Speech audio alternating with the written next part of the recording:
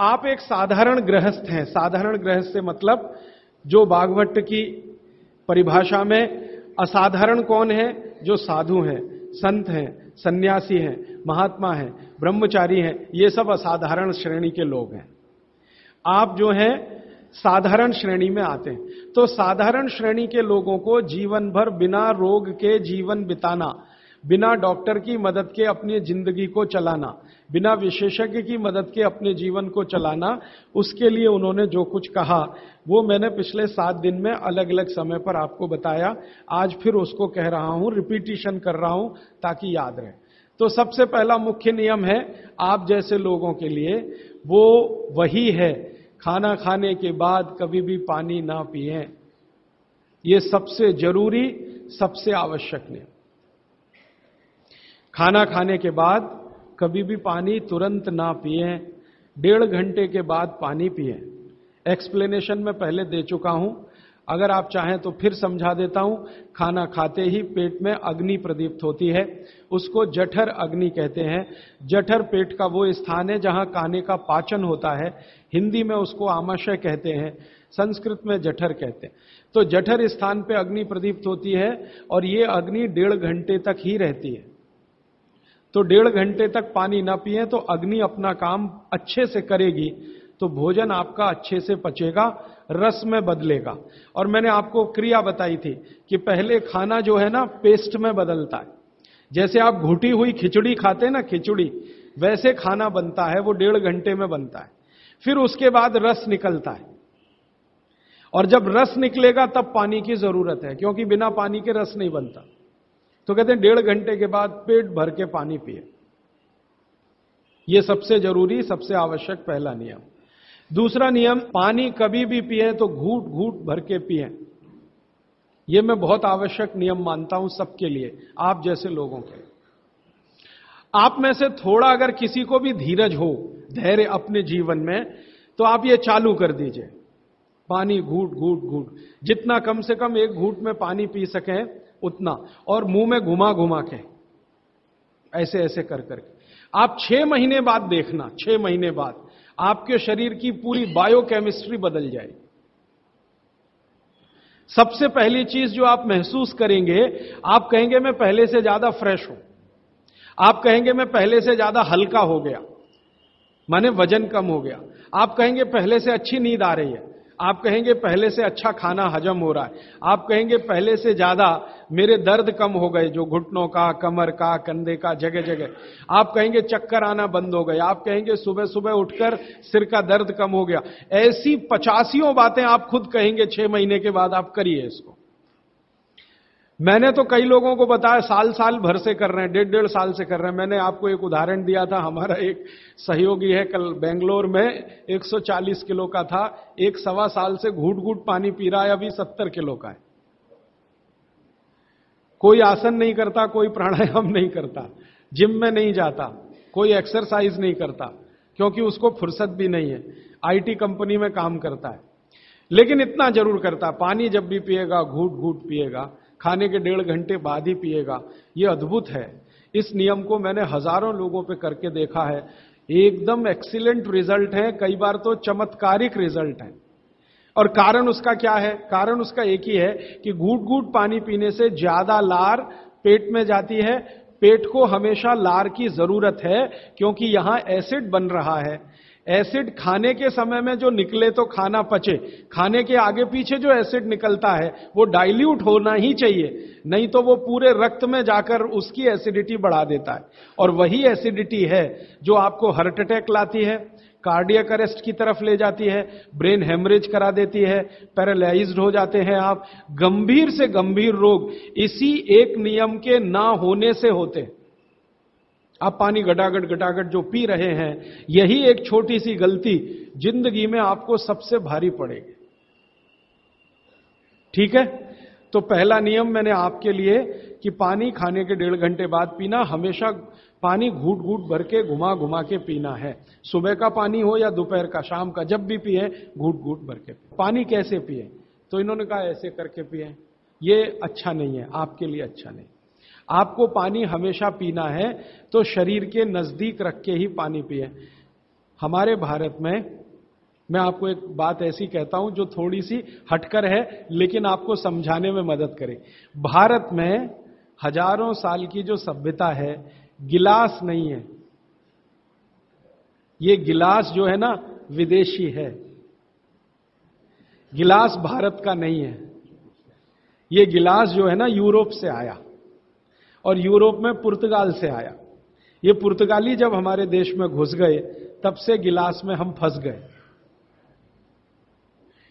गिलास अपना नहीं है, लोटा है, लोटा। लोटा और गिलास का अंतर आप, लोटा है और लोटा कभी भी एक रेखीय नहीं होता।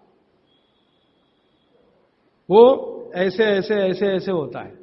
तो भागवती जी कहते हैं कि जो बर्तन एक रेखीय हैं, उनका त्याज्य करें। वो है नहीं अच्छे, काम के नहीं है। तो गिलास का पानी पीना अच्छा नहीं माना जाता। तो लोटे का पानी पीना अच्छा माना जाता। है अब आप बोलेंगे, जी, क्या फ़र्क है? फ़र्क सीधा सा है, पानी के बारे में मैं बता चुका हूँ। पानी को जहाँ धारण किया जाए, वैसे गुण उसमें आते हैं। पानी अपने गुण कुछ नहीं है। जहाँ दे दो, वही गुण हो जाते हैं। दही में मिला दो तो छाछ में बन गया, वो दही का गुण ले लेगा। पानी खत्म हो गया। दूध में मिलाया तो दूध का गुण।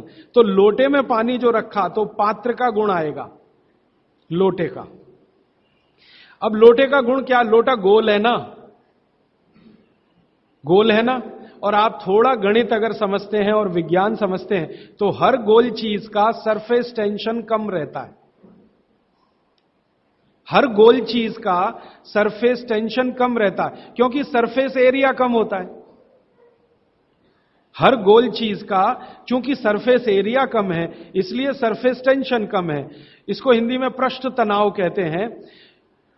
हर गोल चीज़ का सरफेस एरिया कम है तो सरफेस टेंशन कम है, और सरफेस टेंशन कम है तो जो पानी उसमें है, उसका भी सरफेस टेंशन कम है। तो कम सरफेस टेंशन का पानी ही आपके लिए सबसे ज़्यादा उपयोगी है। अगर सरफेस टेंशन बढ़ा हुआ पानी आप पिएँगे तो बहुत तकलीफ़ करने वाला है।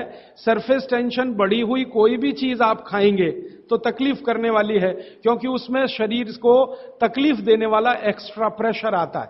तो गिलास का पानी और लोटे के पानी में ज़मीन आसमान का अंतर। इसी तरह से कुएँ का पानी। कुआँ गोल है ना? सबसे अच्छा।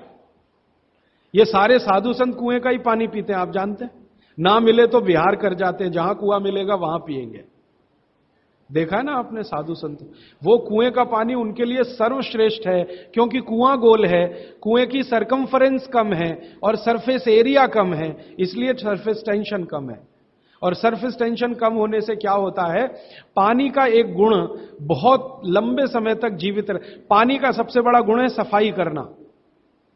अब आपके लिए वो गुण कैसे काम में आ रहा है वो जरा देखिए। आपकी बड़ी आंत है और छोटी आंत है। आप जानते हैं कि उसमें मेम्ब्रेन है, कचरा उसी में जाके फंसता है। तो इसको निकाल निकाल के बाहर लाना पड़ता है। यह तभी संभव है जब सरफेस टेंशन कम वाला पानी आप पी रहे हैं तो। अगर सरफेस टेंशन बढ़ा हुआ पानी है तो यह कचरा बाहर नहीं निकालेगा। मैं इसको एक दूसरे तरह से समझाता हूँ। कॉम्प्लिकेशन है लेकिन सरल समझा रहा हूँ। आप एक एक्सपेरिमेंट करिए। आज घर जाइए और दूध लेके चेहरे पे लगाइए थोड़ी देर। और पाँच मिनट बाद रुई से पूछिए। तो रुई काली हो गई। है ना? कैसे? अंदर का कचरा और गंदगी बाहर आया। कैसे बाहर आया? वो दूध में बाहर लाया। अब दूध कैसे बाहर लाता है? दूध का सरफेस टेंशन सभी वस्तुओं में सबसे कम है।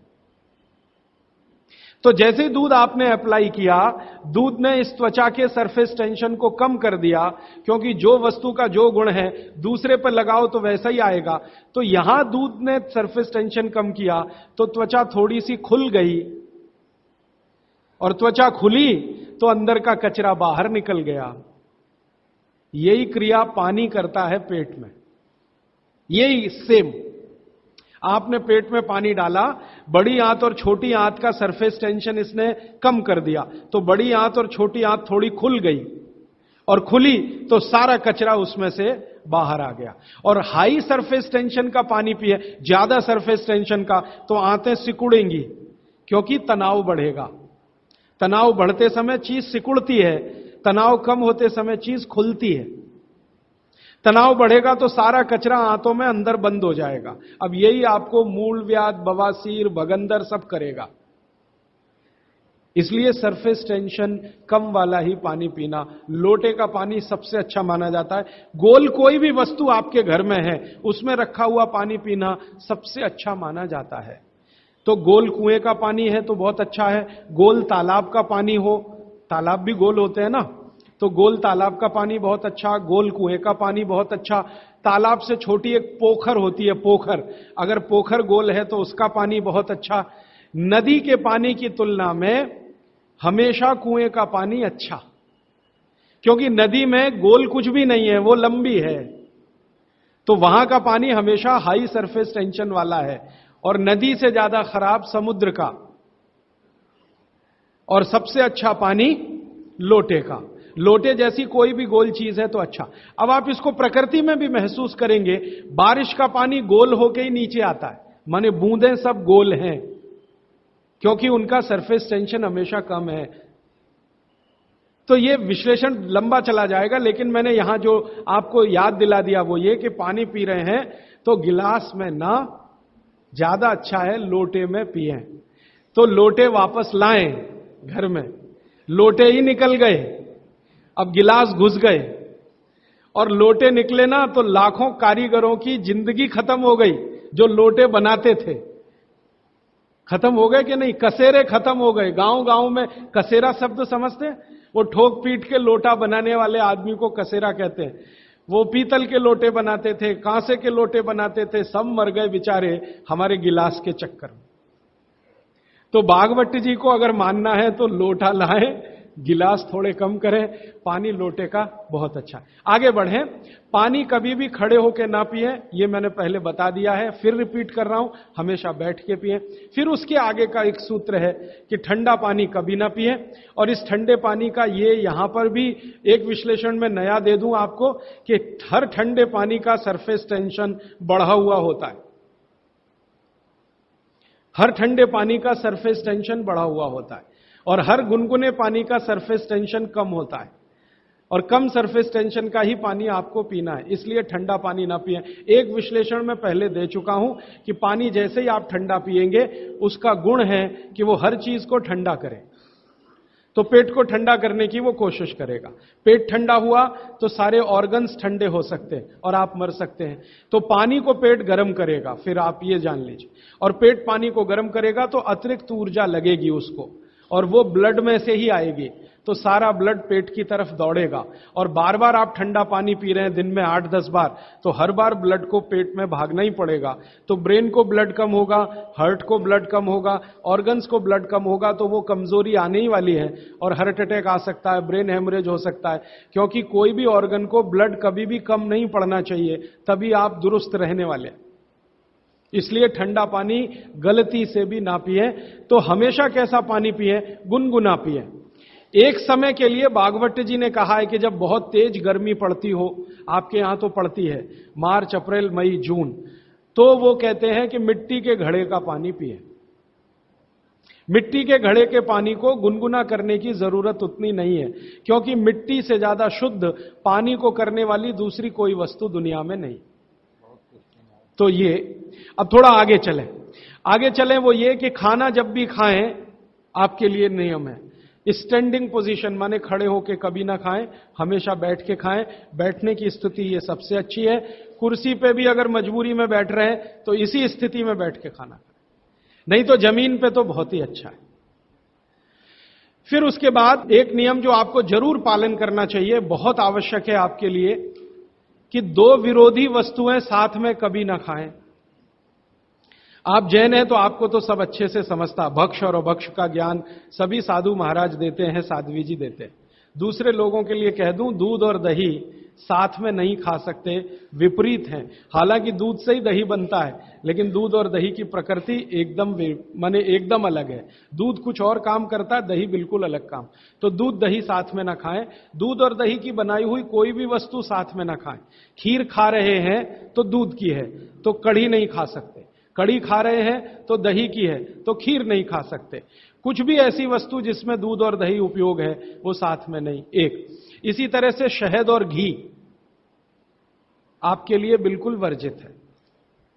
आप बिल्कुल साथ में ना खाएँ। शहद अलग खाएँ, घी अलग खाएँ। शहद ना खाएँ तो भी चलेगा, गुड़ खाएँ। अच्छा ये बड़ी विचित्र स्थिति है। गुड़ और घी साथ में ज़रूर खाएँ। शहद, घी साथ में ना खाएँ। गुड़ को बेहतर तरीके से अगर खाना चाहते, गुड़ तो वैसे ही सबसे बेहतरीन चीज़ है दुनिया की। लेकिन और बेहतर बनाना चाहते हैं तो उसमें ज़रूर घी मिला के खाएँ। तो गुड़ घी चलता है, शहद घी नहीं कभी भी। इसी तरह का एक नियम है कि जैक फ्रूट माने फणस। कटहल दूध के साथ सबसे खतरनाक है। और मैंने कहा, खट्टे फल जितने भी हैं, संतरा है, मुसम्मी है, वगैरह वगैरह, ये दूध के साथ बिल्कुल नहीं चल सकते।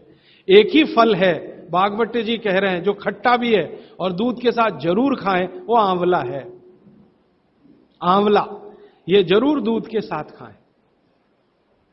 इसके आगे का एक नियम है वो द्विदल वाला एक नियम तो बता ही दिया, द्विदल और दही ना खाएँ। और मजबूरी है कोई खाने की तो दही को गर्म करें, माने बघारें।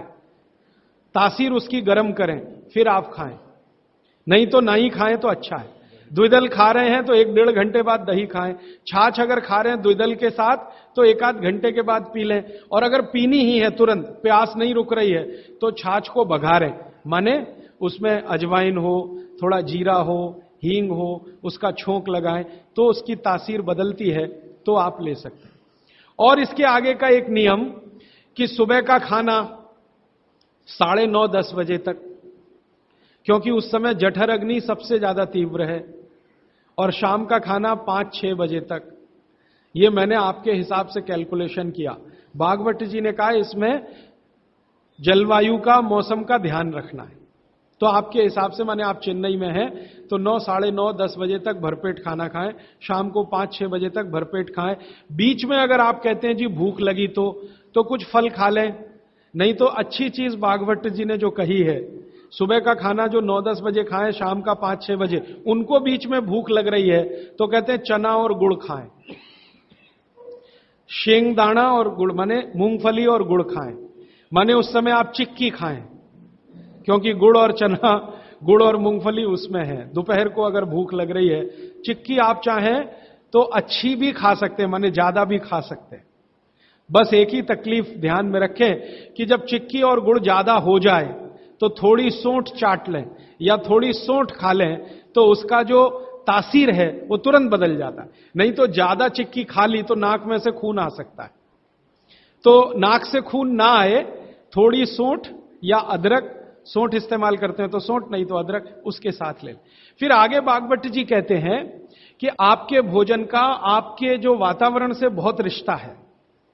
आप जिस वातावरण में रह रहे हैं, उसका ध्यान हमेशा रखें। अब मान लीजिए आप मद्रास में रह रहे हैं तो मद्रास के आसपास का जो वातावरण है, ये गर्म है। गर्म वातावरण में गेहूँ नहीं हो सकता। गेहूँ को होने के लिए ठंड चाहिए। तो निश्चित रूप से चेन्नई के आसपास किसी खेत में गेहूँ अच्छा होगा नहीं। कोशिश करेंगे तो तब अच्छा होगा जब ठंड बढ़ जाए, क्योंकि गेहूँ ठंड की फ़सल है, गर्मी की नहीं। गर्मी की फ़सल जो है वो चावल है, धान है। चावल है, बाजरा बहुत गर्मी की फ़सल है। ये राजस्थान में रहने वाले सब लोग जानते हैं, कितनी गर्मी है राजस्थान में, और वहीं बाजरा सबसे अच्छा होता है। कच्छ में, सौराष्ट्र में कितनी गर्मी है? बाजरा सबसे अच्छा वहीं होता है। तो गर्मी की जो फ़सलें हैं, वो धान है, बाजरा है और जौ है, जवारी है। जवारी आप समझते ज्वार ज्वार। तो ये सब आपके लिए अच्छे हैं, यहाँ। चेन्नई में आप रहते हैं ना, ज्वार की रोटी खाएँ, बाजरे की रोटी खाएँ, गेहूँ की कम। ना खाएँ तो भी चलेगा। जो यहाँ हो रहा है, वो ज़्यादा खाएँ। अब आप बोलेंगे, गर्मी में भी बाजरे की रोटी खाएँ। ना खाएँ, क्योंकि बाजरा वैसे तो गर्म है, लेकिन गर्मी में भी खाना है। मान लो आपको स्वाद है, छूट नहीं रहा है, जगह छूट गई है, स्वाद नहीं छूटता। मन हमारा अभी भी राजस्थान में है, या कच्छ में है, या सौराष्ट्र में। कुछ मजबूरी है कि हम यहाँ रह रहे हैं। अगर ये मजबूरी खत्म हो जाए तो आप सब भागेंगे यहाँ से। मजबूरी कैसी? कच्छ में, सौराष्ट्र में इतना ही पैसा आ जाए। तो आप सब चले जाएँगे। क्योंकि मन जो है ना, छूटता नहीं है, स्थान से लगा रहता है, स्वाद मन के साथ जुड़ा हुआ। तो स्वाद के लिए ही अगर बाजरा खाना चाहते हैं तो बिना गुड़ के ना खाएँ यहाँ पर, चेन्नई में। गुड़ और घी के साथ बाजरे की रोटी आप खा सकते हैं। गुड़ और घी के साथ जवारी की रोटी आप खा सकते हैं। ज़्यादा आप खाएँ तो चावल आपके लिए, धान जो यहाँ होता है, वो सबसे अच्छा है। तो तासीर ध्यान रखें, आबो हवा का ध्यान रखें, वातावरण का ध्यान रखें, हर बनाते समय भोजन में और खाते समय भोजन। ये कुछ सूत्र हैं जो बहुत आवश्यक हैं आपके लिए, मैं मानता हूँ। जो मैंने आपको पिछले एक 45 मिनट या 30 मिनट में जो रिपीट किए, जिनको मैं बहुत आवश्यक मानता हूँ। और इसमें से एक सूत्र छूट गया जो बहुत आवश्यक सुबह सुबह उठकर पहले पानी पिए सुबह सुबह उठकर पहले पानी पिए। कारण मैं बता चुका हूँ कि उठते ही आपके मुँह में जो लार बन रही है, वो बहुत बहुत बहुत कीमती है। उसकी कीमत लगा नहीं सकते आप। वो एकदम अमूल्य चीज़ है। वो अंदर ही जाए तो अच्छा है। तो आप उठते ही पानी पीने का नियम बनाए। कितना पानी पिए? मैंने बताया था 18 से कम उम्र के जो बच्चे हैं, उनको लगभग डेढ़ से दो गिलास 60 से ऊपर के जो बुज़ुर्ग हैं, उनको भी डेढ़ से दो गिलास, और आप जिस उम्र में हैं 18 से 60 तो कम से कम तीन गिलास। पीने का तरीका वही है, सिप सिप सिप सिप करके पीना, और ये सुबह का पानी, अकेला पानी है, जो बिना प्यास के भी पीना। जी, ये मुख्य नियम मैं मानता हूँ, आपको ज़रूर धारण करने चाहिए। और मेरी एक दूसरी गुजारिश है। आप जितने भी लोग बैठे हैं, इन सब नियमों को पालन करें आज से। कुछ ने तो शायद शुरू भी किया है दो तीन दिन से। ज़रूर पालन करें। हो सकता है कि छह महीने के बाद, आठ महीने के बाद मेरी आपकी फिर मुलाकात हो, तब आप मुझे इसकी रिपोर्टिंग करें। रिपोर्टिंग करें क्यों? मैं आप सबको बागभट्ट का चेला बनाना चाहता हूँ। मैं ये चाहता हूँ मैं विनम्रतापूर्वक कह रहा हूँ, मैं ये चाहता हूँ कि जो ज्ञान मैंने छह साल में लिया, ये साल भर में आपके पास पूरा पहुँच जाए। क्यों? आप तो इसको अपने जीवन में पालन करके स्वस्थ रह सकते हैं, अपने परिवार को भी रख सकते हैं, और पड़ोसियों को भी रख सकते हैं। और बागवट ने कहा है कि जो अपने दुखों को दूर कर ले और दूसरों के दुखों को दूर करने का काम करे, वो ही मोक्ष का भागी है। माने भागीदार हो सकता है। तो मैं चाहता हूँ आप सब मेरे साथ मोक्ष में चलें। वहाँ भी हम यही करेंगे। तो आप अच्छे हो जाएँगे, देश भी अच्छा हो जाएगा। ये कहकर मैं अब प्रश्नों की तरफ़ चल रहा हूँ। प्रश्न मेरे पास भरपूर आ चुके हैं। मैं कोशिश ये करूँगा कि जो प्रश्न एक बार उत्तर आ गया, उसको दोबारा नहीं दूँगा। हो सकता है किसी व्यक्ति ने वो प्रश्न रिपीट किया। ज़्यादातर प्रश्न जो हैं, वो रोगों से संबंधित हैं। इस रोग में क्या करें, उस रोग में क्या करें? तो सबसे पहला प्रश्न, जो मैं सबसे आसान मानता हूँ। आँखों के नीचे काले धब्बे आ गए हैं तो क्या करें? मैं इसका उत्तर पहले दे चुका हूँ, फिर दो रहा हूँ आपको सबसे अच्छा आसान उपाय मैं बता रहा हूँ वो ये, जिनको भी डार्क सर्किल है, सवेरे उठें। सबसे पहला जो आपका थूक है, मुँह का लार है, इसको आँखों के नीचे लगा के मालिश करें। हल्की हल्की मालिश करें। आपके सारे डार्क सर्कल खत्म हो जाएँगे। और ये जो सुबह का मुँह का लार है, इससे आप अपने त्वचा रोग भी ठीक कर सकते हैं। खाज है, खुजली है, दाद है, सोराइसिस है, इचियोसिस है, एक्जिमा है, हर जगह इसको अप्लाई करें और हल्की हल्की मालिश करें। कोई कहेगा कि बहुत ज़्यादा शरीर में है तो इतना तो थूक बनता ही नहीं है, और पूरे शरीर पे लगाना पड़े तो तो ऐसी स्थिति में आप मुझे व्यक्तिगत रूप से शाम को चार बजे मिलें, मैं आपको एक ऐसी दवा बता दूँगा या लिखा दूँगा जो थूक भी बढ़ा देगी और आपकी शरीर की खाज खुजली, दाग, धब्बे सब मिटा देंगे। वो व्यक्तिगत है। नींद बराबर नहीं आती। नींद बराबर नहीं आती है तो इसका माने एक ही आप जान लीजिए कि आपके शरीर में अगर वात बढ़ा हुआ है, वायु बढ़ी हुई है तो अच्छी नींद कभी नहीं आएगी। तो इसके लिए बहुत सरल उपाय मैंने बताया था।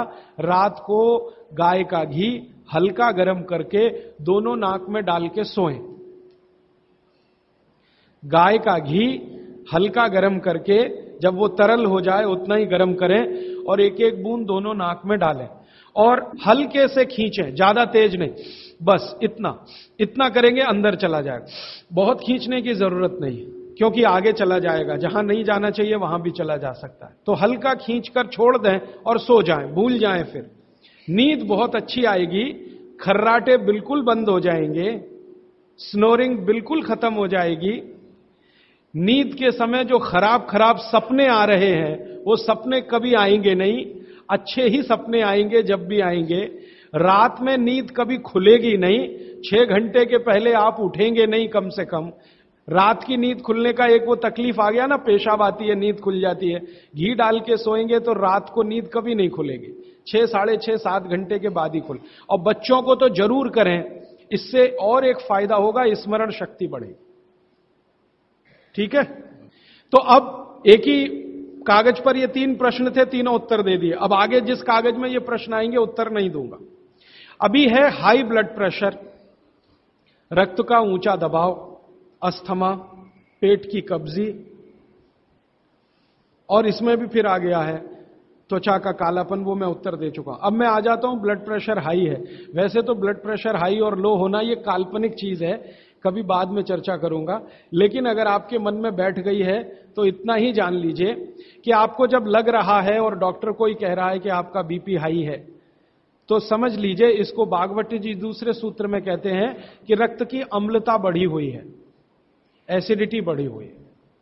अब रक्त में अम्लता है तो अम्लता को खत्म करने के लिए क्षारीय चीज़ खाएँ, क्षार चीज़ खाएँ, क्षार। अब क्षार वाली चीज़ें क्या है? सबसे अच्छी क्षार की चीज़ है मेथी, सब्ज़ी के रूप में भी और दाने के रूप में। मेथी। दूसरी क्षार वाली चीज़ है, आप में से जैन है तो वो नहीं खाएँगे, लेकिन जो जैन नहीं है उनको बता देता हूँ, गाजर। तीसरी क्षार वाली चीज़ है, कोई भी ऐसा फल जिसमें रस नहीं है। कोई भी ऐसा फल जिसमें रस नहीं है। सेब, ये क्षारीय है। केला, ये क्षारीय है। अमरूद, ये क्षारीय है। कोई भी ऐसे फल याद रहेगा आपको जिसमें रस नहीं है। ये सब क्षारीय है। सब्जियों में पालक क्षारीय है। बैंगन क्षारीय है। आलू के बारे में कहते हैं, ना अम्लीय, ना क्षारीय, वो बीच का है। तो जो सब्ज़ियाँ आपको क्षारीय हैं और जो मसाले माने औषधियाँ क्षारी इनका उपयोग करें। तो अम्लता अपने आप कम होगी तो ब्लड प्रेशर कम होगा तो ट्राइग्लिसराइड कम होगा, मोटापा भी कम होगा, सब कुछ कम होगा आपका।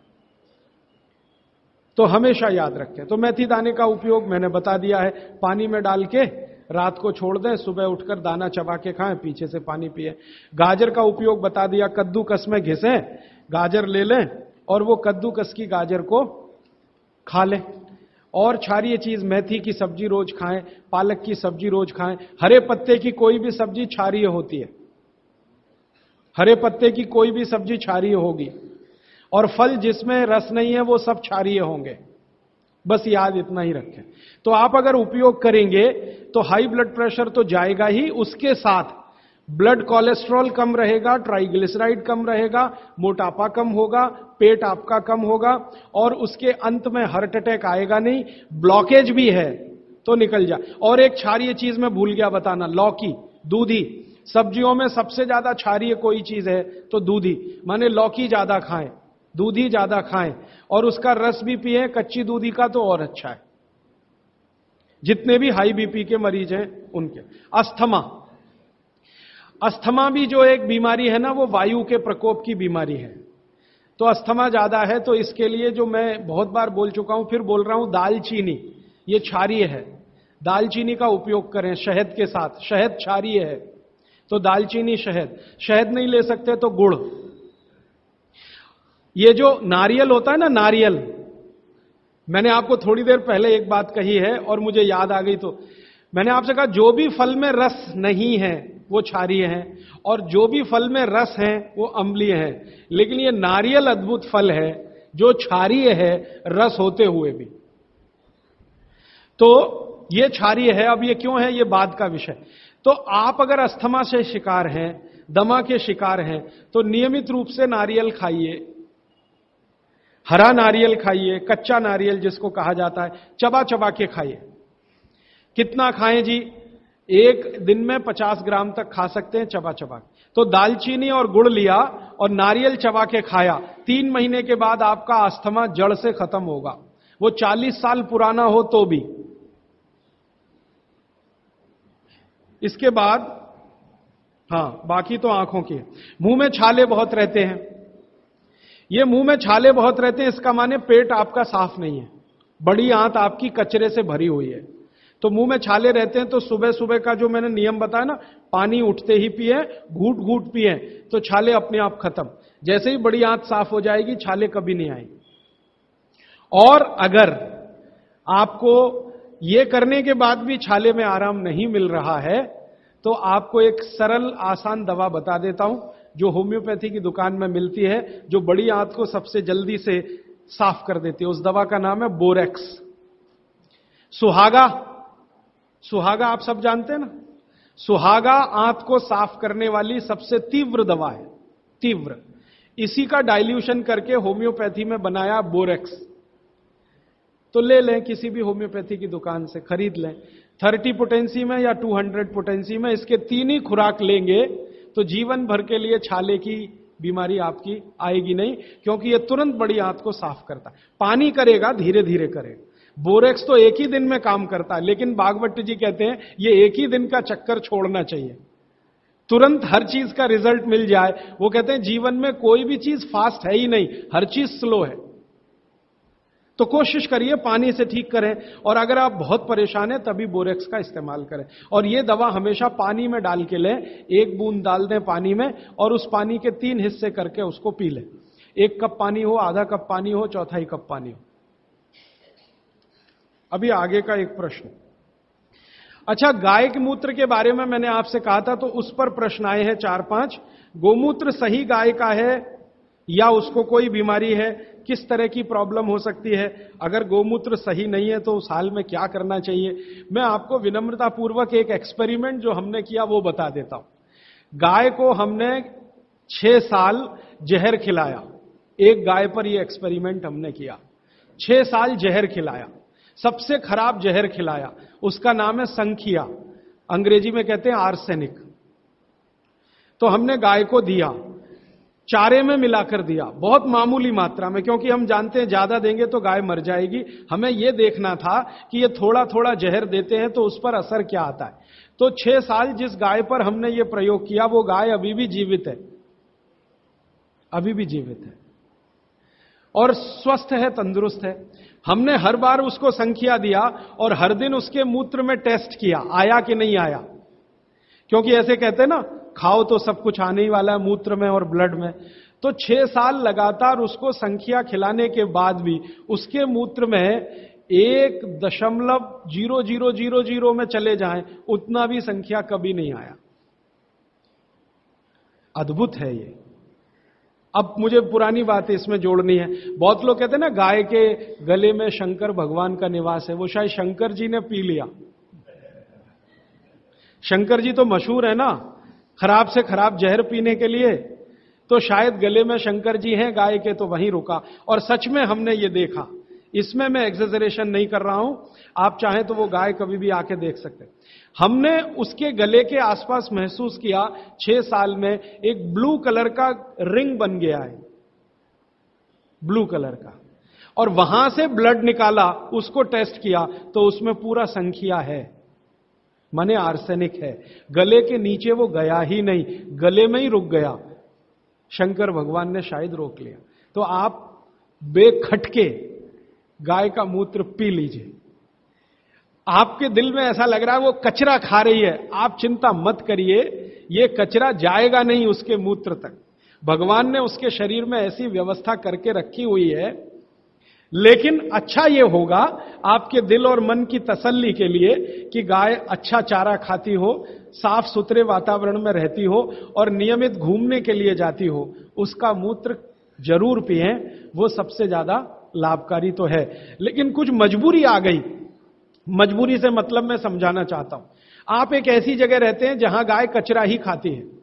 और आपको ऐसी कोई गाय मिल ही नहीं रही है जो शुद्ध चारा खाती हो और बराबर घूमने जाती हो। और आप किसी बीमारी से तड़प रहे परेशान है, और वो बीमारी में आपको गोमूत्र चाहिए ही तो बिना संकोच के ले लें उसका। हानि तो नहीं करेगा, कुछ फ़ायदा ही कर जाए। गोमूत्र के बारे में अब तक की जो रिसर्चेज हैं वो ये हैं कि इसके साइड इफ़ेक्ट है नहीं। शरीर पता है क्या करता है? आपने मूत्र ज़्यादा भी पी लिया तो ये शरीर 20 मिनट के बाद उसको पेशाब के साथ अपने आप ही निकाल देता है। रहने ही नहीं देता उसको। तो थोड़ा ज़्यादा पी लिया या खराब पी लिया, वो निकल ही जाएगा। जो काम का है, उतना ही रह जाएगा। अब गाय का ऐसा बना, भगवान ने बनाया है, इसलिए भागवत जी कहते हैं कि ये विशेष तरह का एक जानवर या प्राणी है, जो भगवान ने बहुत सोच समझ के बनाया। तो गाय के बारे में इतना। अच्छा अर्थराइटिस के लिए किसी ने पूछा है? अर्थराइटिस के अब जितने भी प्रश्न आएँगे, उनका एक ही साथ ये उत्तर है कि अर्थराइटिस की समस्या अगर बहुत गंभीर है और डॉक्टर आपको कोई ये कह रहा है कि जी ऑपरेशन करा लो तो हाथ जोड़कर कहता हूँ ऑपरेशन तो कभी मत कराना, क्योंकि आप जिस स्थिति में है, उससे भी ज़्यादा खराब हो जाएगी। इस हिंदुस्तान के भूतपूर्व प्रधानमंत्री श्री अटल बिहारी वाजपेयी ने दुनिया के सबसे बड़े डॉक्टर से ऑपरेशन कराया था, नहीं कराया? स्पेशल चार्टेड प्लेन भेजकर अमेरिका से उस डॉक्टर को बुलाया, डॉक्टर राणावत। और उसने दुनिया के सबसे अच्छे घुटने, कप्स लाकर अटल जी को फिट किए हैं। अटल जी को देख लीजिए आप। पहले तो थोड़ा चल लेते थे, अब तो चलना ही बंद हो गया। सिर्फ़ व्हील चेयर पर ही रहते हैं। और वो खुद कहते हैं कि मैं पहले से ज़्यादा तकलीफ़ में हूँ। तो आप मत करिए। फिर आप बोलेंगे, जी, क्या करें? डॉक्टर बोलता है ऑपरेशन मत कराइए। आप क्या करें? अर्थराइटिस के लिए जो सबसे अच्छे कॉम्बिनेशन बागवट जी के हैं, उनका उपयोग करिए। उसके लिए सबसे अच्छा वो बोलते हैं, चूना खाइए। चूना क्षारीय है। अम्लता को कम करता है। ज़्यादा अम्लता बढ़े तो अर्थराइटिस होता है। तो चूना खाइए। खाने का तरीका मैंने बता दिया, दही में, छाछ में, पानी में, जूस में। और एक दिन में अर्थराइटिस के पेशेंट दो ग्राम खा सकते हैं। स्वस्थ आदमी तो एक ही ग्राम खाए। चूना खाइए मेथी दाना लीजिए, क्षारीय है। और सबसे क्षारीय चीज़ जो है, वो है हार सिंगार का पेड़। हार सिंगार देखा है? परिजात हार सिंगार। छोटा सफ़ेद रंग का एक फूल आता है और केसरिया डंडी होती है। सफ़ेद फूल और केसरिया डंडी, बहुत तेज खुशबू है, रात को ही खिलता है। रात रानी भी कुछ लोग कहते हैं, हार सिंगार कहते हैं। ये पेड़ के जो पत्ते हैं, वो ब्रह्मांड में सबसे ज़्यादा क्षारीय माने जाते हैं, जो भी औषधियाँ तो इसके पत्ते कहीं भी मिल जाएँ, चार पाँच पत्ते पीसिए पीस कर पानी में डालिए, खूब उबालिए। पानी इतना उबालिए कि थोड़ा कम हो जाए, आधा रह जाए। फिर ठंडा कर लीजिए, फिर वही पानी चाय की तरह से चुस्कियाँ ले लेकर सवेरे खाली पेट पीजिए। मैंने ये देखा है, गंभीर से गंभीर अर्थराइटिस पेशेंट को हफ़्ते दस दिन में ही रिलीफ कर देता है। तो ये कहीं भी मिल जाए। नहीं मिले तो हार सिंगार का पौधा गुड़वांचरी में है तो आप थोड़े पौधे बंटवा दीजिए, सब अपने घर में लगा लें, गमले में हो जाता है आसान। है और कुछ खाली स्पेस है तो ज़रूर। क्यों? ये हर घर में रहे पेड़। कारण क्या है कि आज अर्थराइटिस ही सबसे ज़्यादा तकलीफ़ दे रहा है लोग सुगंधी तो आएगी, नींद अच्छी देगा। जहाँ आपका बेडरूम है, उसके पीछे ज़रूर लगा लीजिए। और उसका पत्ता आपको अर्थराइटिस से मुक्ति देगा। और दोनों तरह की अर्थराइटिस रूमेटिड और ऑस्टियो दोनों ही खत्म होती है इस हार सिंगार के पत्ते से। आइसक्रीम कब खा सकते हैं? कभी भी नहीं। कभी भी नहीं। और अगर आइसक्रीम खा ही रहे हैं, आप कहते हैं, जी, मन नहीं मानता, स्वाद है और मुँह को लग गया है, अब क्या? तो इसका एक उपाय बता देता हूँ। आइसक्रीम खाइए और पीछे से गर्म पानी में घी मिला के पी लीजिए। तो जो कुछ भी तकलीफ़ वो करने वाली है, उससे आप बच जाएँगे। ना खाएँ तो सबसे अच्छा। दालचीनी, सौठ का काढ़ा, ये लोग ज़रूर पिए जिनको अस्थमा है जिनको अर्थराइटिस है, माने वायु के रोग हैं, वो दालचीनी का काढ़ा ज़रूर पिए, गुड़ मिला के। मूंगफली और तिल ज़रूर खाएँ। भगवान की दी हुई तिल दुनिया की सबसे अद्भुत वस्तु है।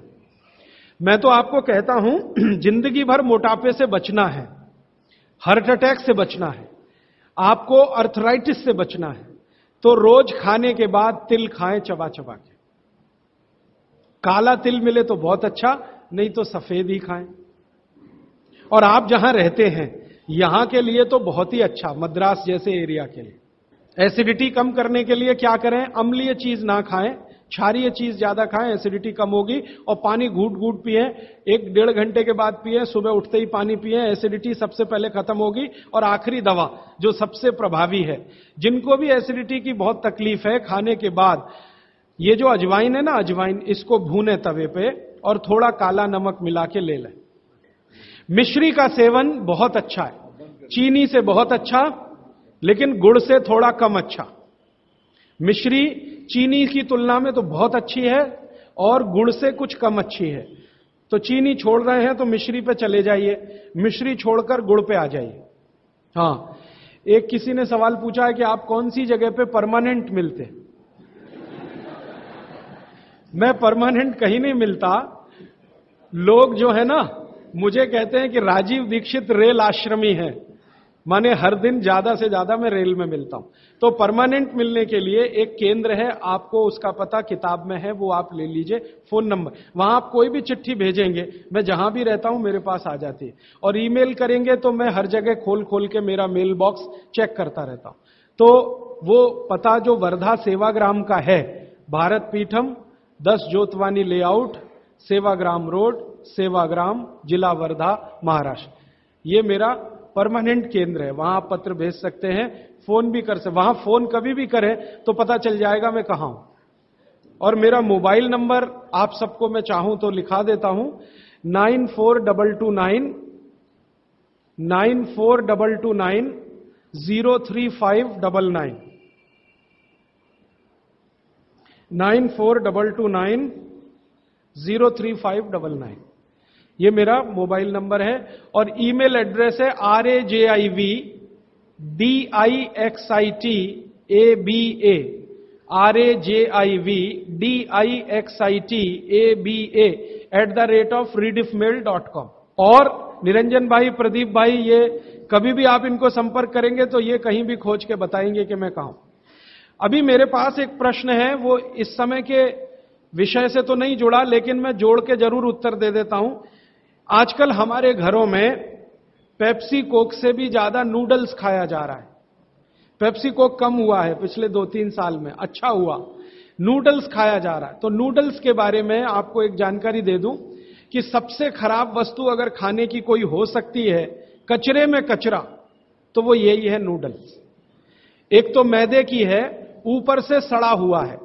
छह सात दिन मैदे को सड़ा के रखा जाए, तब नूडल्स तैयार होता है। और इस नूडल्स में टेस्ट लाने के लिए सुअर के मांस का रस मिलाया जाता है। बिना उसके नूडल्स बन ही नहीं सकता। जो मैगी है ना, मैगी, या कोई भी नूडल्स, सुअर के मांस का रस, सड़ा हुआ मैदा छह छह दिन पुराना, उससे तैयार हुआ है। अब आप तय कर लो, खाना है या नहीं खाना है। एक प्रश्न है जिसका उत्तर दे नहीं सकता। किसी ने कहा, आज की शिक्षा बहुत बेकार है। वैकल्पिक शिक्षा की बात बताइए। तो समय ज़्यादा है। आप मुझे ईमेल करिए, मैं लंबा जवाब दूँगा। गाय का घी कान नाक में डालने के लिए मैंने बोला था तो वो उत्तर दे चुका हूँ। फिर रिपीट इसलिए कर रहा हूँ कि गलती ना करें। घी को हल्का गर्म करना है, ज़्यादा नहीं। गाय का घी नाक में डालने के लिए हमेशा हल्का गर्म करना है, ज़्यादा नहीं। और एक ही बूंद एक नाक में दूसरी बूंद, दूसरी नाक। हाँ, एक बहुत अच्छा सवाल है। दैनिक जीवन में कौन सा नमक खाएँ? सबसे अच्छा सेंधा नमक खाएँ। और इसको याद ऐसे रखें, पत्थर वाला नमक खाएँ। यह समुद्र के पानी का नमक कम से कम खाएँ। पत्थर वाला नमक, एक तो सेंधा नमक है। दूसरा नमक है जो काला नमक है, ये आप ज़्यादा उपयोग करें।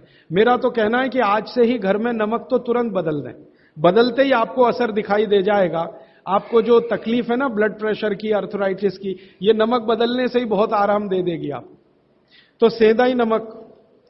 किसी ने कहा है कि गोमूत्र अर्क लेने में पहले दिन खराब लगा, तीन दिन खराब लगेगा। तीन दिन, चौथे दिन से अच्छा लगेगा। तो छोड़े नहीं उसको, एक दिन खराब लगा, छोड़िए मत, दूसरे दिन भी लीजिए, तीसरे।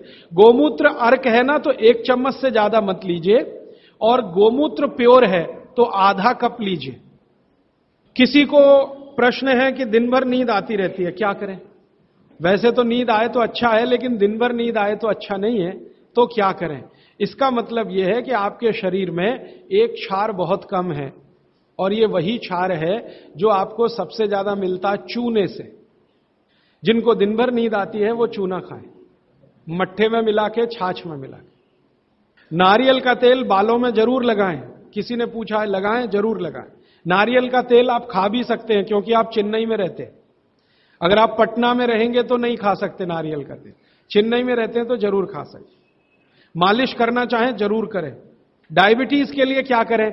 डायबिटीज़ का जो सबसे अच्छा उपाय मैंने बताया था, मेथी दाना और त्रिफला चूर्ण। त्रिफला चूर्ण माने हर डे बहेड़ा, आंवला। एक, दो, तीन अनुपात वाला त्रिफला चूर्ण, एक चम्मच। मेथी दाना, एक चम्मच। दोनों मिलाकर गर्म पानी में रात को रख दें, सवेरे उठकर इस पानी को पी लें और उसमें जो कुछ है चबा के खा लें। तीन चार महीने नियमित करेंगे ब्लड शुगर नॉर्मल आने की पूरी संभावना है। और नहीं आए तीन चार महीने में ब्लड शुगर नॉर्मल तो एक मुझे ईमेल ज़रूर करें या फ़ोन करें। शुगर खाना, नहीं खाना, चीनी बिल्कुल बंद कर दीजिए, क्योंकि यही अकेली चीज़ है जो पचती नहीं आसानी से। बाकी चीनी छोड़कर कुछ भी खाइए। पथरी अगर है शरीर में और थायराइड थायराइड का सबसे अच्छा उपाय है, धनिया पत्ता है ना, धनिया पत्ता, इसकी चटनी। धनिया पत्ते की चटनी बनाइए, पानी में मिला के पी जाइए, पानी गुनगुना रहे। कितनी चटनी? एक चम्मच चटनी, उसमें कुछ डालिए मत, नमक, मिर्ची, कुछ मसाला नहीं, खाली धनिया पत्ते की चटनी। और जब तक धनिया मिल रहा है तो ये हरे पत्ते की चटनी। धनिया मिलना बंद हो जाए तो सूखा धनिया। ये धनिया जो है ना, थायराइड की सबसे अच्छी दवा मानी जाती है। पथरी पथरी जिसको भी है, वो चूना कभी ना खाएँ। ये याद रखें। कहीं भी शरीर में पथरी है तो चूना कभी ना खाएँ। तो फिर क्या खाएँ? एक दवा है, पत्थर तोड़ दवा। क्या बोलते हैं आप उसको? पाखंड भेद। शोभाकांत जी के यहाँ वो दवा है, पाखंड भेद। कहीं भी मिल जाएगा। तो आप इसका काढ़ा बना के पिए। ये जो पाखंड वेद है ना, इसका काढ़ा पानी में डाल के, उबाल के। और ये दवा आसानी से होम्योपैथी में उपलब्ध है। और इसी दवा का होम्योपैथिक नाम है बर्बेरिस। Berberis vulgaris. पाखंड वेद का बोटेनिकल नाम है बर्बेरिस वलगेरिस। ये किसी भी होम्योपैथी की दुकान में मिलेगा, वो पूछेगा, कैसे दूँ? तो कहना, मदर टिंचर में दो। ये कोई भी घर में रखिए आप। बिल्कुल निसंकोच इस्तेमाल कर सकते हैं साइड इफ़ेक्ट कुछ नहीं है इस दवा का। बर्बेरिस वलगेरिस मदर टिंचर ऐसा बोलिए। तो ये हल्के गुलाबी रंग की होगी डार्क कलर की भी हो सकती है। इसकी 10-10 बूंदें, चौथाई कप पानी में डालकर दिन में तीन चार बार पिलाएँ, एक महीने, सवा महीने में सारी पथरी टूटकर निकल जाएगी। और नहीं तो पाखंड वेद जो दवा मिले, आयुर्वेद की, उसका काढ़ा बना के पंद्रह बीस दिन ले ले।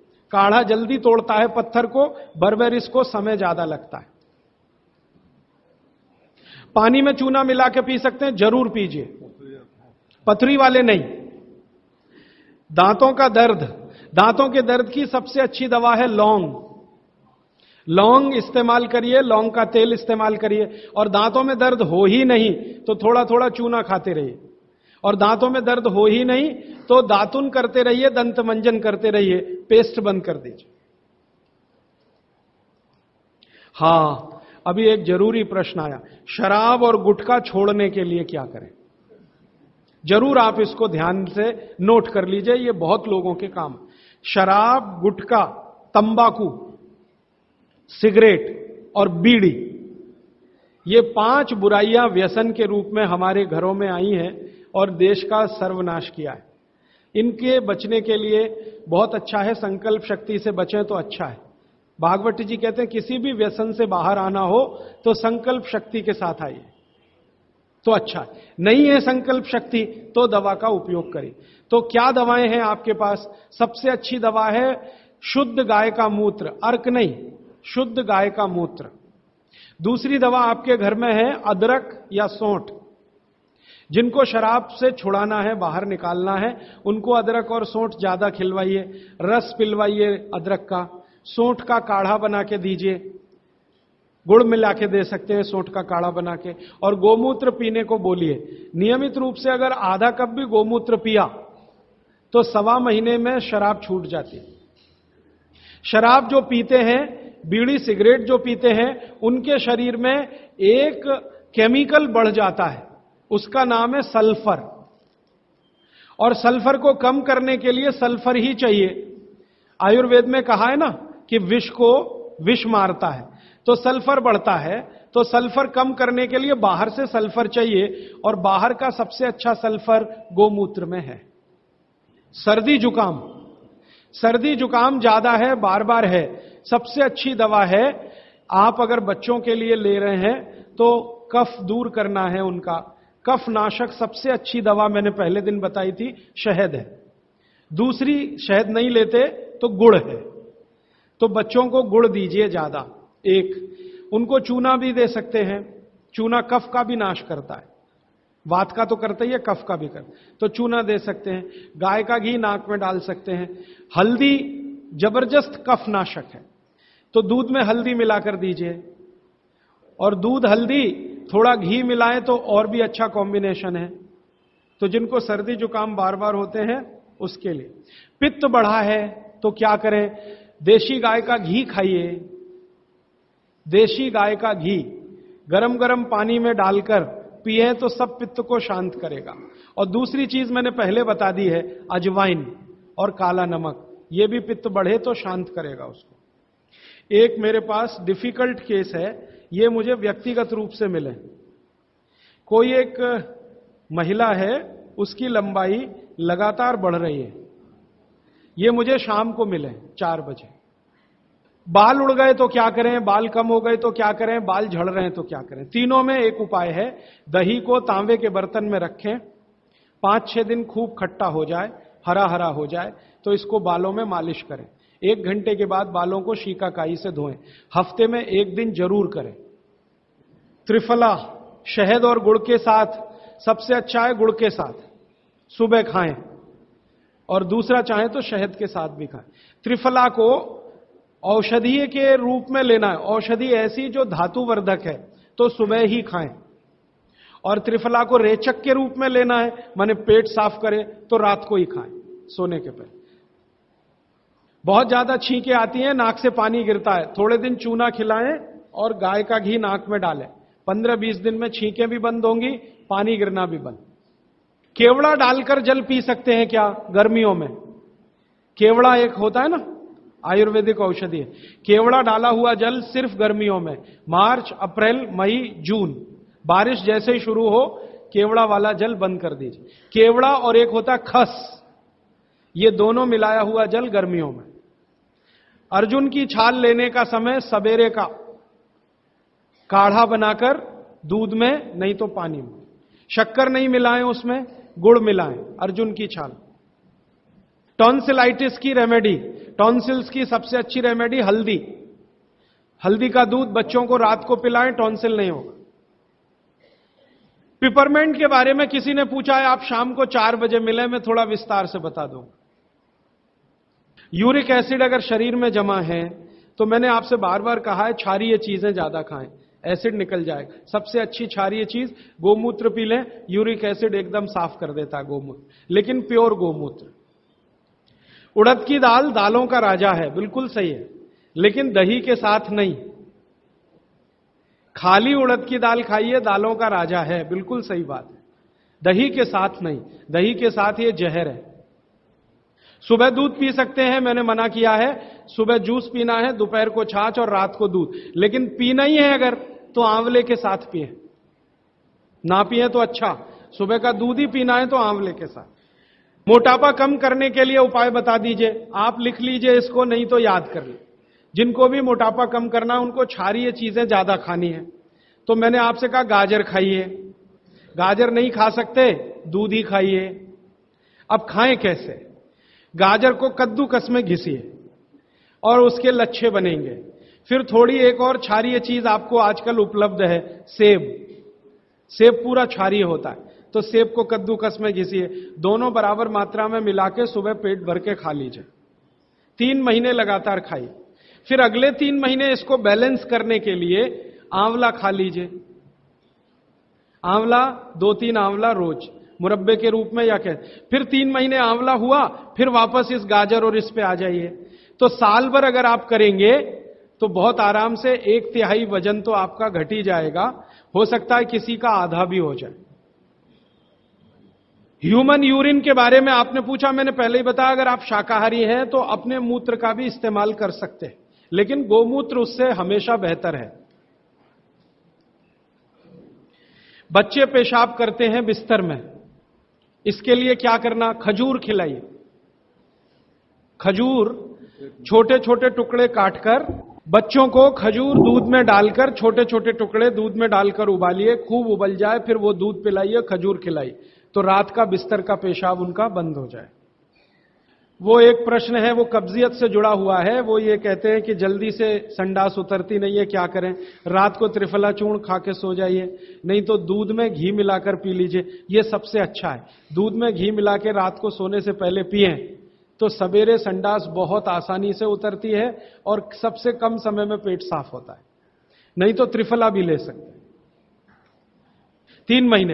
देखिए, एक नियम हमेशा याद रखिए, जो मैं बार बार कर लगातार कोई भी दवा आयुर्वेद की तीन महीने से ज़्यादा मत खाइए, और अगर ज़रूरत पड़ रही है तो थोड़े दिन ब्रेक दे दीजिए। पंद्रह दिन का, दस दिन का, बीस दिन का। ब्रेक के बाद फिर अगले तीन महीने ले सकते हैं, फिर ब्रेक दे दीजिए, फिर। ये नियम बहुत ज़रूरी है।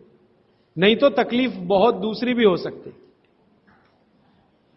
पीठ की हड्डी में दर्द है, चूना चूना खाइए।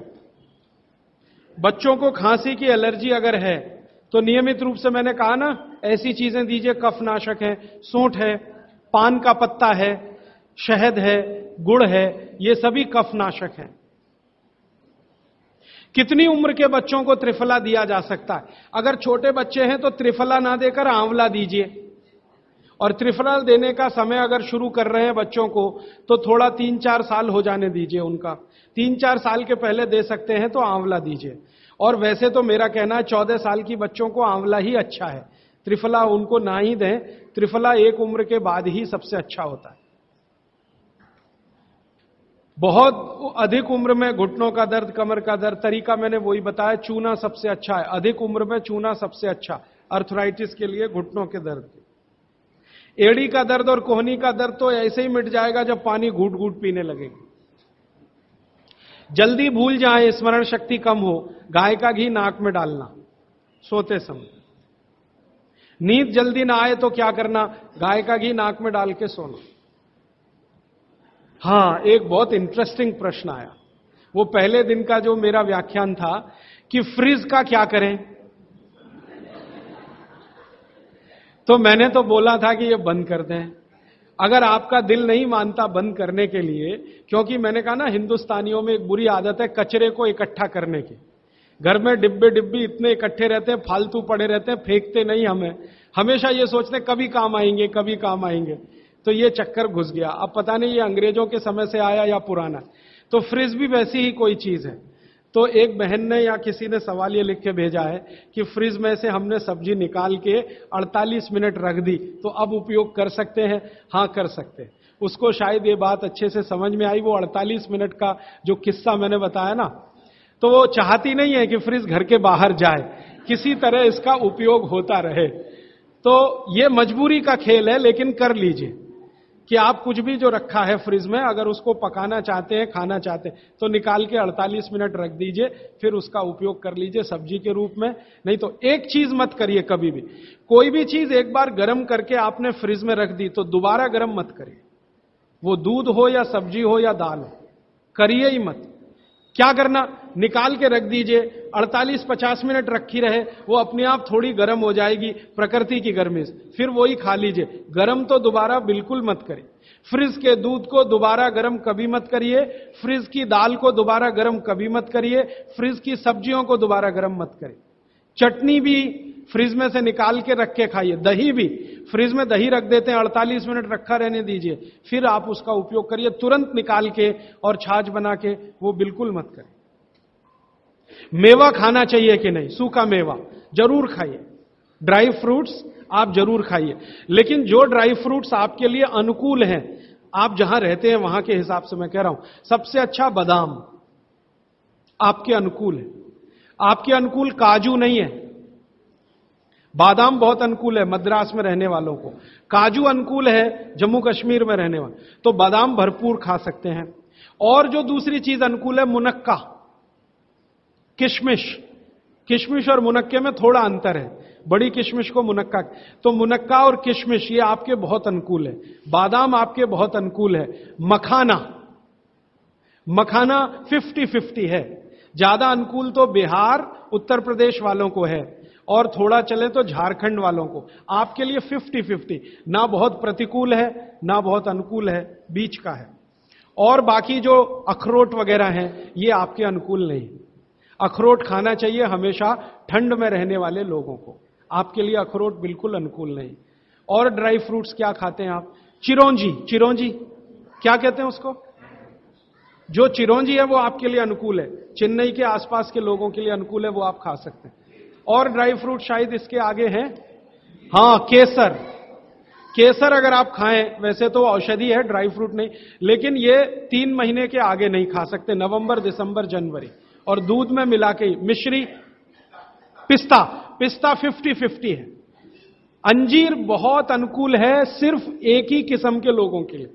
इसको मैं आपको कहता हूँ, जरा ध्यान से सुन। जिनको शरीर में शक्ति की कमी लगती है शक्ति की कमी लगती है, ताकत कम है, शक्ति कम है। उनके लिए अंजीर बहुत फ़ायदे की है, लेकिन जिनको पहले से ही ताकत है, वो ना खाएँ इसको।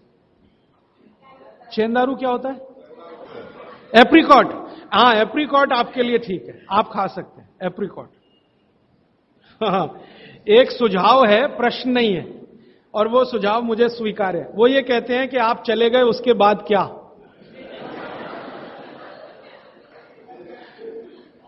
तो उसके बाद ये व्यवस्था या अभियान या ये बातें या ये ज्ञान सतत निरंतर चलता रहे, इसके लिए आपकी मेरी एक छोटी सी कोई एक एडजस्टमेंट हो जाए तो बहुत अच्छा। मैं ये चाहता हूँ कि जो कुछ मैंने सीखा वो आप सीख लो। हाँ और बाबूजी बोलेंगे वैसे, मेरा ऐसा कहना जो मैंने सीखा वो आप सीख लो, उतना ही सीख लो जितना मेरे पास है। फिर आप उससे आगे भी सीख सकते हैं। और ये दूसरों को सिखाते जाएँ। तो नियमित रूप से कोई ऐसी व्यवस्था अगर आप सब मिलके करें, मुझे स्वीकार। सुबह का पानी, तांबे के बर्तन का पी सकते हैं, जिनको कब्जियत की बहुत तकलीफ़ है, लेकिन शरीर में तांवा ज़्यादा हो तो वो नहीं पिए। लेकिन सबसे अच्छा जो सम पानी माना जाता है, जिसमें आपको कुछ सोचना ही नहीं पड़ेगा, सादा बर्तन का, माने वो पीतल के उसमें रखा हुआ या कांसे के उसमें रखा हुआ, नहीं तो स्टील में रखा हुआ, गर्मी के दिनों में घड़े का, मिट्टी के घड़े। तांबे का पानी पी सकते हैं। हाँ, क्योंकि कुचालक है ना लकड़ी, और तांवा बहुत ज़्यादा सुचालक है। एक होता कंडक्टर और एक बैड कंडक्टर। तांवा सबसे बड़ा कंडक्टर है, और लकड़ी सबसे बड़ा बैड कंडक्टर है। तो ये अगर आपने तांवा पिया, माने तो अर्थ के साथ जो कांटेक्ट है ना, नंगे पाँव तो वो खत्म करेगा आपको। इसलिए पाँव में चप्पल रहे, लकड़ी के पट्टे पे खड़े रहें, प्लास्टिक की चप्पल पहन के हो, रबर की चप्पल पहन के हो, तभी तांबे के बर्तन का पानी पीना अच्छा है। केन वाटर बहुत लोग आजकल केन वाटर पी रहे हैं, ऐसा प्रश्न आया तो ये क्या अच्छा है? बिल्कुल अच्छा नहीं। तो आप बोले, फिर क्या करें? आपके घर जो पानी आ रहा है, टैप वाटर, इसको खूब अच्छे से उबाल लें, उबाल कर इसको रख लें, फिर उसी को पिए। ये केन वाटर से हज़ार गुना अच्छा है। क्रेन वाटर पता है क्या है? ये पानी को शुद्ध करने के लिए ब्लीचिंग करते हैं उसकी। उस ब्लीचिंग में क्लोरीन इस्तेमाल होता है फ्लोरीन इस्तेमाल होता है। और वो फिर शरीर में जाए तो बहुत खराब है। और केन वाटर का टेस्ट सादा पानी से बिल्कुल अलग होता है। तो केन वाटर से हज़ार गुना अच्छा है टैप वाटर लेकिन उबाल कर रखा गया। हाँ, एक सवाल आ गया है जो अब तक किसी ने नहीं पूछा। शायद आपको पूछने के लिए मन में तो होगा, लेकिन आपने क्यों नहीं पूछा? महिलाओं से संबंधित ये सवाल है मेंसीज पीरियड का। दो सवाल आए हैं। एक तो यह है कि वाइट डिस्चार्ज बहुत होता है तो क्या करें? तो इसके लिए आप ऐसा करिए, एक आयुर्वेद की दवा इस्तेमाल करिए, उसका नाम है शतावरी। शतावरी। कहीं भी मिलती है आयुर्वेद की दुकान, शतावरी चूर्ण के रूप में ले लीजिए, इस शतावरी चूर्ण को दूध में मिला लीजिए और रात को ज़रूर पीजिए। दूध हल्का गर्म रहे। और शतावरी डाल के दूध उबाल भी सकते हैं, फटता नहीं। शतावरी जिनको भी वाइट डिस्चार्ज की समस्या है, शतावरी। और दूसरी, कि जब भी मेंसिस पीरियड आता है, बहुत दर्द होता है, तकलीफ़ होती है इचिंग बहुत होती है तरह तरह की खुजलियाँ होती है शरीर में, गुस्सा बहुत आता है, चिड़चिड़ापन वगैरह वगैरह। तो आपका जब भी मेंसिस पीरियड होता है तो आपके शरीर में वायु बहुत बढ़ी हुई है, पित्त भी थोड़ा बढ़ा हुआ रहता है। इसका बहुत आसान उपाय मैं बता देता हूँ बागवट जी का है, मेरा नहीं। वो ये कहते हैं कि मेंसिस पीरियड में सब कुछ ठीक रहे। समय से आए, समय से जाए, ज़्यादा रक्त ना निकले और कम भी ना हो, इस सब चीज़ ठीक रखे के लिए गरम गरम पानी में जो इतना गरम हो जैसे चाय होती है, घी मिला के पिए। गरम गरम पानी में, खूब गरम पानी में, गाय का घी आपके घर है तो बहुत अच्छा नहीं तो कोई भी घी, भैंस का भी चलेगा, एक चम्मच मिलाएँ, आधा गिलास खूब गर्म पानी खोलता हुआ घी मिला दें। थोड़ा पीने लायक हो जाए, उतनी देर रखें, फिर उसको चुस्कियाँ ले लेकर पिए। अगर आपका मासिक पाँच दिन चलता है, चार दिन चलता है, तीन दिन दिन से मतलब नहीं, जितने दिन चलता, उतने दिन। कितनी बार पी सकते हैं? दिन में दो या तीन बार पी सकते हैं। तो अगर आपने ये शुरू किया तो सब कुछ आपका नॉर्मल हो जाएगा, सब कुछ। मेनोरेजिया है तो ठीक होगा मेट्रोरेजिया तो ठीक होगा, सब सब ठीक हो जाएगा, मैं ज़्यादा नहीं कहना चाहता, आप सब समझदार हैं। हर चीज़ आपकी दुरुस्त और तंदुरुस्त रहेगी। डिस्चार्ज वाइट है तो शतावरी लेना है, और पानी में घी मिला के किसी भी दूसरी प्रॉब्लम के लिए मेंसिस पीरियड ये घी पानी मेंसिस पीरियड में ही पिए। इसको ध्यान से सुने। मेवा से वेट बढ़ता है। काजू को छोड़कर किसी भी मेवा से वेट नहीं बढ़ता। काजू ही है। जो वज़न बढ़ाता है। बाकी कोई भी सूखा मेवा वज़न नहीं बढ़ाता। मुँह से बदबू आती है तो समझ लो पेट साफ़ नहीं है। तो रात को त्रिफला खा के सो, नहीं तो दूध और घी मिला के पियो, सुबह उठते ही पानी पी लो, मुँह की बदबू बंद। हाथ पैर सुन्न हो जाते मतलब चूना खाते रहिए। हाँ, अब ये एक सवाल ऐसा है कि चूने से जीप फट जाती है। तो आप चूना अगर सीधे जीप पे खाएँगे तो फटेगी। पानी में डालकर खाएँगे कभी जीप नहीं फटेगी। दही में डालकर खाएँगे नहीं फटेगी। मट्ठे में पिएँगे तो नहीं फटेगी। जीप पर चाटेंगे चूना तो ज़रूर जीप फटेगी। अब किसी ने एक सवाल पूछा, हनी के केमिकल कंपोनेंट्स बताइए। वो किताब में पूरा है, आप पढ़ लीजिए। टीबी पेशेंट है, ट्यूबरकुलोसिस। तो आप ज़रूर उनको गोमूत्र पिलाइए। अगर खाली गोमूत्र, शुद्ध गोमूत्र, अर्क नहीं, खाली गोमूत्र आपने पिला दिया तो तीन से चार महीने में टीवी जड़ से ठीक होती दही में, या तो छाछ में, या तो पानी में, नहीं तो पान में। चूना ये पान में जो खाते हैं वो ही और पाँच मिनट रुकिए, मैंने मेरा कंक्लूड किया है, लेकिन ये आज के लिए है। ज़िंदगी के लिए ये कंक्लूजन नहीं है, ये तो रास्ता अभी खुला है, ज़िंदगी